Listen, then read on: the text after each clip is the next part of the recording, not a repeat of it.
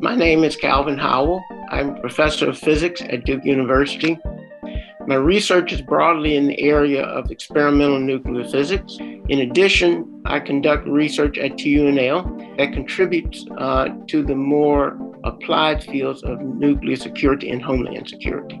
The Triangle University Nuclear Laboratory, or TUNL, is a Department of Energy Center of Excellence in Nuclear Physics. The TUNL is a consortium of four universities in the North Carolina Research Triangle area Duke University, North Carolina Central University, North Carolina State University, and the University of North Carolina at Chapel Hill. Our primary mission is to advance the frontiers of nuclear physics and to educate students and young scientists so that they can contribute to society across a wide range of technical fields, specifically in the area of nuclear physics. The funding from Department of Energy enables us to continue to increase our capabilities for conducting frontier research.